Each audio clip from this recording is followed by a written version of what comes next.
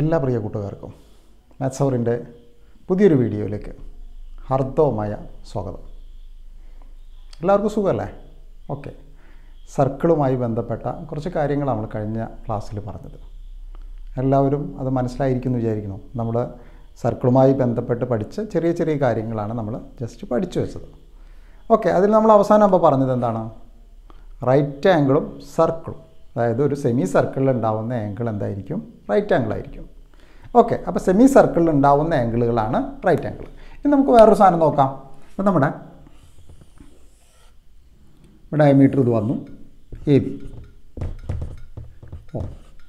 സെൻട്രലിലൂടെ പോകുമ്പോഴാണ് അതിന്റെ ഡയമീറ്റർ അതായത് വ്യാസം എന്ന് പറയുന്നത്. അതായത് ഒരു അർദ്ധവൃത്തത്തിലെ കോണം നമ്മൾ മട്ടക്കോണാണ്. നമ്മൾ കഴിഞ്ഞ ദിവസം പറഞ്ഞ ചാപം എന്ന് പറയുന്നതിന് നമ്മൾ വൃത്തഖണ്ഡം എന്നും പറയാറുണ്ട്. ചില ടെക്സ്റ്റിൽ വൃത്തഖണ്ഡം എന്നാണ്.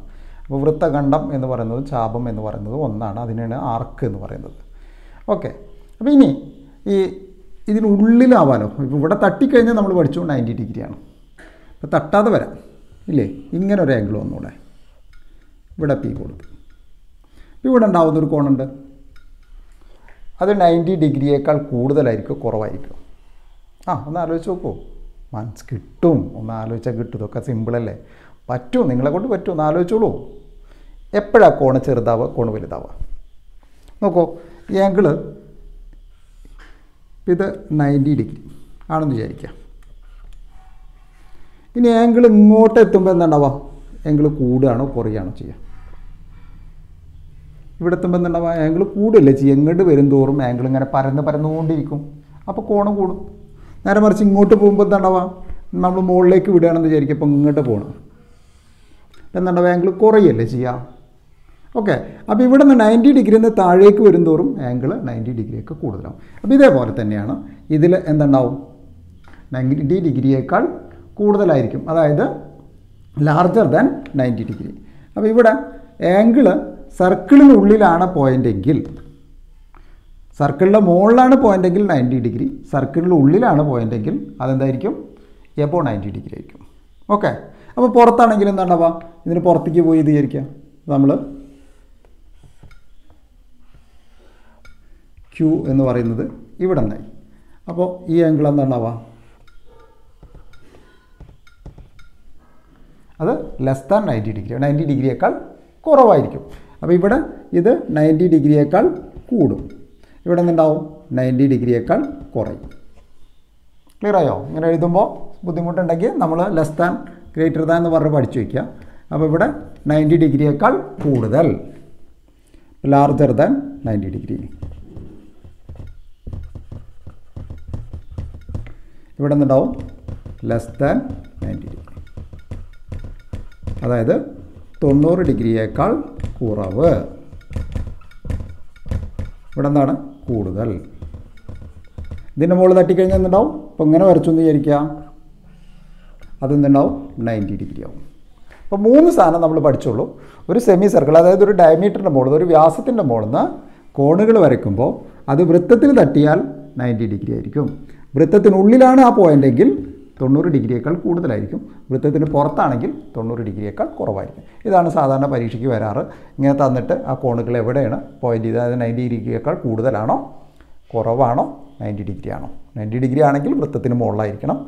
നയന്റി ഡിഗ്രിയേക്കാൾ കുറവ് കൂടുതലാണെങ്കിൽ വൃത്തത്തിനുള്ളിലായിരിക്കണം പുറത്തേക്ക് പോകുന്തോറും നയന്റി ഡിഗ്രിയേക്കാൾ കുറഞ്ഞുകൊണ്ടിരിക്കും. ക്ലിയർ ആണല്ലോ? ഓക്കെ അപ്പോൾ നമുക്ക് പ്രോബ്ലത്തിലേക്ക് പോവാം. ശരിയല്ലേ? പടിഞ്ഞില്ലേ ഓക്കെ അടുത്ത ക്വസ്റ്റ്യൻ എന്താണ്?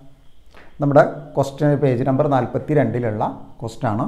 Suppose we draw a circle with the bottom side of the triangle in the picture as diameter find out whether the top corner of each triangle is inside the circle on the circle outside the circle ഈ ട്രയാങ്കിളിന്റെ അടിയിലുള്ള രേഖ അത് ഒരു diameter ആയിട്ട് നമ്മൾ വൃത്തം വരയ്ക്കുകയാണെങ്കിൽ ഈ മൂന്ന് കോർണറുകൾ സെവന്റി ഡിഗ്രിയിലുണ്ട് നയന്റി ഡിഗ്രിയിലുണ്ട് വൺ ഹൺഡ്രഡ് ആൻഡ് ടെൻ നൂറ്റിപ്പത്ത് ഡിഗ്രിയിൽ.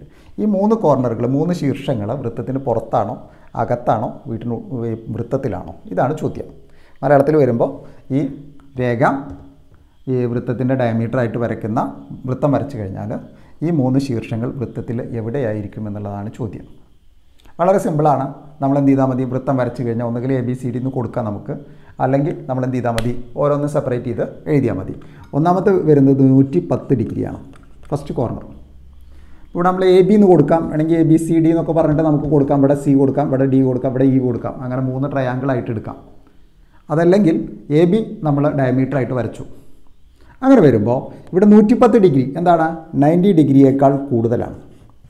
നയന്റി ഡിഗ്രിയേക്കാൾ കൂടുതലാണ്. നയന്റി ഡിഗ്രിയേക്കാൾ കൂടുതലാണെങ്കിൽ എന്താ നമ്മൾ പറഞ്ഞത്? ഈ ശീർഷം എവിടെ ഉണ്ടാവും? ഇൻസൈഡ് ദ എന്താ പറഞ്ഞത്? Find the whether top corner of each triangle അപ്പോൾ ഇവിടെ നമ്മൾ സി എന്ന് കൊടുത്തു കഴിഞ്ഞാൽ ഈ ട്രയാങ്കിൾ എ ബി സിയിൽ ട്രയാങ്കിൾ എ ബി സിയിൽ in triangle A B C angle C നൂറ്റി പത്ത് ഡിഗ്രിയാണ് ആംഗിൾ സി ഈക്വൽ ടു നൂറ്റി പത്ത് degree greater than ninety degree so C is inside the circle inside the circle അടുത്തതിന് ഞാനെന്ത് കൊടുത്തു? ഊ ഓ എന്ന് കൊടുത്തു. അപ്പോൾ triangle A O B triangle A O ബിയിൽ angle O equal to ninety degree എന്താണ്? ഓൺ ദി സർക്കിൾ അപ്പോൾ O is on the circle അടുത്തത് ഡി കൊടുത്തു. അപ്പോൾ triangle A D B A D B triangle A D ബിയിൽ angle D equal to seventy degree അത് less than ninety ഡിഗ്രിയാണ് so എന്ത് ചെയ്തോ?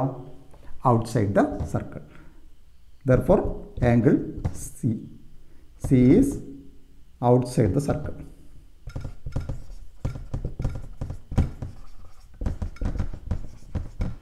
നോക്കൂ. നമ്മൾ മൂന്ന് കാര്യമാണ് പറഞ്ഞത്.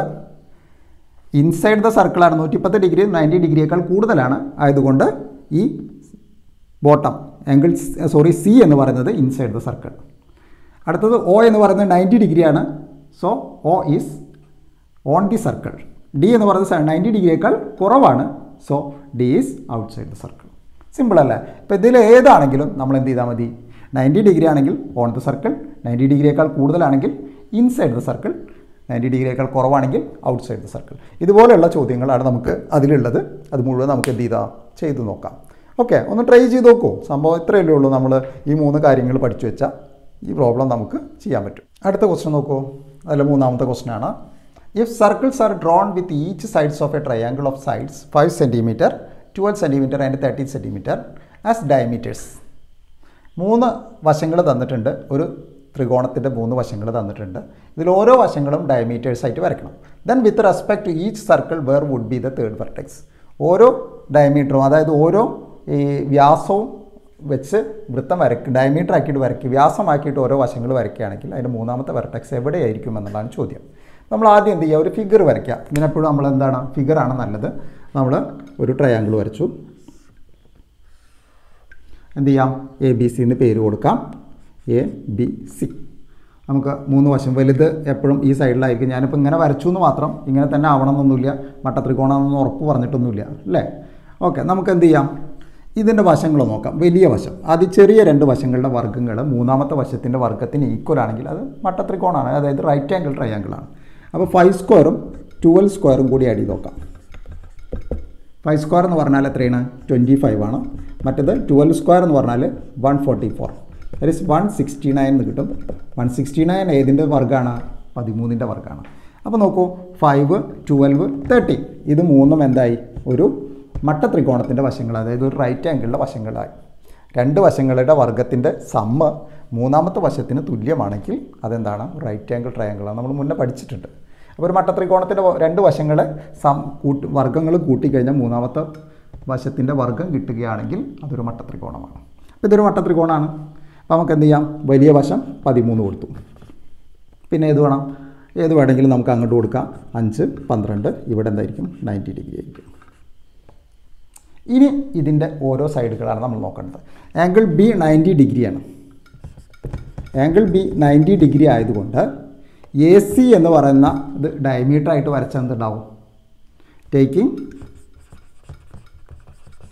A C as diameter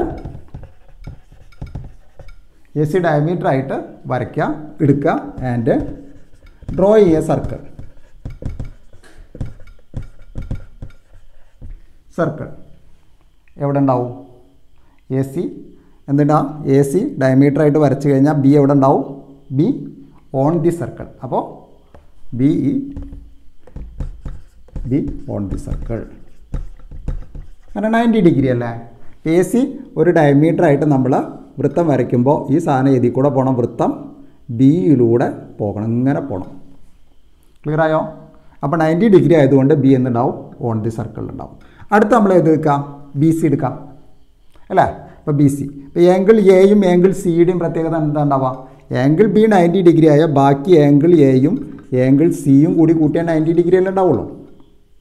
അപ്പോൾ ആംഗിൾ എ എന്ന് പറയുന്നത് നയന്റി ഡിഗ്രിയേക്കാൾ കുറവായിരിക്കും. ലെസ് ദാൻ ആംഗിൾ സി എന്ന് പറയുന്നത് എന്തായിരിക്കും? നയന്റി ഡിഗ്രിയേക്കാൾ കുറവായിരിക്കും.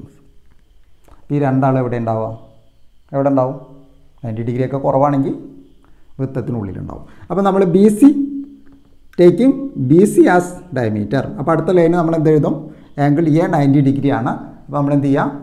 Angle A less than ninety degree ആയതുകൊണ്ട് നമ്മൾ എന്ത് എഴുതി? ടേക്കിംഗ് ഏതാ?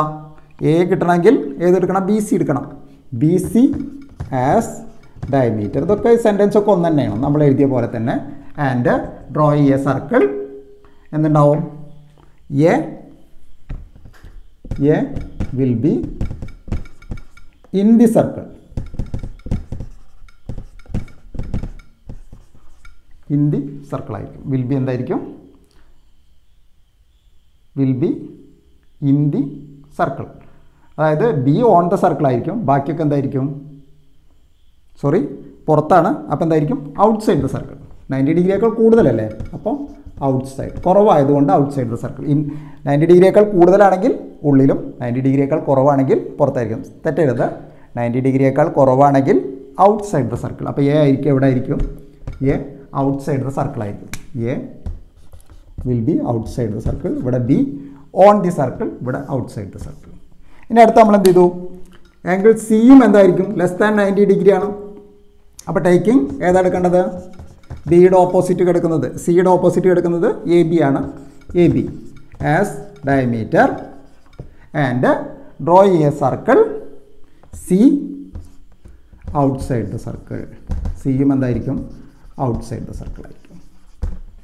ക്ലിയർ ആയല്ലോ? അപ്പോൾ നമ്മൾ ഇത്രയേ ഉള്ളൂ. ഡയമീറ്റർ വരയ്ക്കുമ്പോൾ ആ ആംഗിൾ നയന്റി ഡിഗ്രിയൊക്കെ താഴെയാണെങ്കിൽ outside the circle ninety ഡിഗ്രിയേക്കാൾ കൂടുതലാണെങ്കിൽ inside the circle ninety degree ആണെങ്കിൽ ഓൺ ദി സർക്കിൾ ക്ലിയർ ആണല്ലോ? ഇനി ഇത് തെറ്റില്ലല്ലോ? ഇതുപോലത്തെ കുറച്ച് ക്വസ്റ്റ്യൻസ് അതിലുണ്ട്. അതൊക്കെ ഒന്ന് ചെയ്ത് ക്ലിയർ ചെയ്യുക എന്നിട്ട് അതിന്റെ ഡൗട്ട്സുകൾ കമന്റ് ബോക്സിൽ ഇടാം. അപ്പോൾ ഓക്കെ മനസ്സിലായിട്ടുണ്ടാവുമെന്ന് വിചാരിക്കണം സിമ്പിളല്ലേ സർക്കിൾ അത്ര വലിയ പ്രശ്നങ്ങളൊന്നുമില്ല. പഠിച്ച് നമ്മളിങ്ങനെ മനസ്സിലാക്കി പഠിച്ച് പഠിച്ച് പോവുകയാണെങ്കിൽ സർക്കിൾ സിമ്പിളായിട്ട് നമ്മുടെ മൈൻഡിൽ കയറിയിരിക്കും പിന്നെ ആ സാധനം ഇറങ്ങില്ല. കയറി ഇറങ്ങാത്തൊരു സംഭവമാണിത്. ഓക്കെ അപ്പോൾ അടുത്ത ക്ലാസ്സിൽ വീണ്ടും കാണാം. ബൈ